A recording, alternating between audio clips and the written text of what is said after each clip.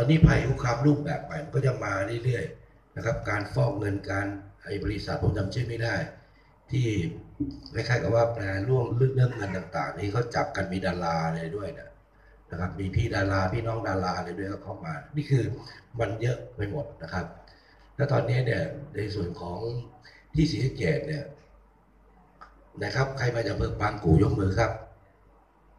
อขอบคุณครับมือลงครับ ตอนนี้ปัญหาที่บางกูเยอะก็คือเรื่องของการขายฝากที่ดินถูกต้องไหมครับ ใช่ไหมครับ นั่นก็คือปัญหาความมั่นคงปัญหาหนึ่ง ผมยกตัวอย่างคนใกล้ ๆ ตัวก็ได้ว่าประชาชนเนี่ยที่รับความเดือดร้อนเนี่ย คือเขาไม่ได้เข้าไปในสถาบันการเงินที่ถูกต้อง ก็มีผู้หวังดีแต่ประสงค์ร้ายก็คือผ่านในทุน ผ่านในหน้า